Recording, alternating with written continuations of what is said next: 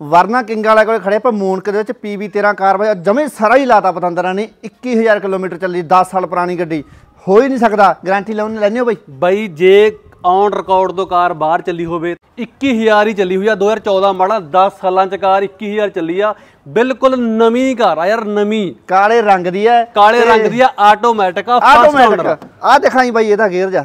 ਬਾਈ ਜਮੀ ਨਹੀਂ ਚੱਲੀ 21 ਤਾਂ ਬਾਈ ਮਹੀਨੇ 'ਚ ਚਲਾਉਂਦਾ ਬੰਦਾ ਤੇ 10 ਸਾਲਾਂ 'ਚ 21000 ਆਜੋ ਤੁਹਾਨੂੰ ਡਿੱਗੀ ਚੱਕੀ ਵੀ ਦਿਖਾ ਦਈਏ ਵੀ ਕਾਰ ਕਿੰਨੀ ਜ਼ਿਆਦੇ ਨਵੀਂ ਹੈ ਇੱਕ ਵਾਰੀ ਚੈੱਕ ਕਰ ਲਓ ਵੀ ਡਿੱਗੀ ਚੱਕ ਯਾਰ ਫ੍ਰੈਗਨੈਂਸ ਦੇਖੋ ਵੀ ਗੱਡੀ ਚੋਂ ਕਿੰਨੀ ਘੈਂਟ ਆ ਰਹੀ ਆ ਪਰ ਤੁਸੀਂ ਦੇਖ ਸਕਦੇ ਹੋ ਬਾਈ ਘੈਂਟ ਦੇਖੋ ਵੀ ਜਮਾ ਜਮਾ ਜਮਾ ਏਜੰਸੀ ਜੋ ਆਨਸਰ ਨਹੀਂ ਹੁੰਦੀ ਸਮੈਲ ਉਹ ਆ ਰਹੀ ਹੈ। ਬਿਲਕੁਲ ਖੁਸ਼ਬੂ ਪੂਰੀ ਘੈਂਟ ਆ ਰਹੀ ਆ ਯਾਰ ਇੱਥੋਂ ਪਤਾ ਲੱਗਦਾ ਜਿਵੇਂ ਕਹਿੰਦੀ ਪਿੰਡ ਦਾ ਦਾ ਪਤਾ ਲੱਗਦਾ। ਸਹੀ ਗੱਲ ਹੈ। ਗੱਡੀ ਕੋਈ ਵੀ ਦੇਖਣੀ ਆ ਨਾ ਡਿੱਗੀ ਤੋਂ ਪਤਾ ਲੱਗਦਾ ਹੁੰਦਾ ਕੋਈ ਕੇ ਫਿਰ ਅੰਦਰ ਹੀ ਲਾਤੀ ਸੀ ਬਾਈ ਹੈ।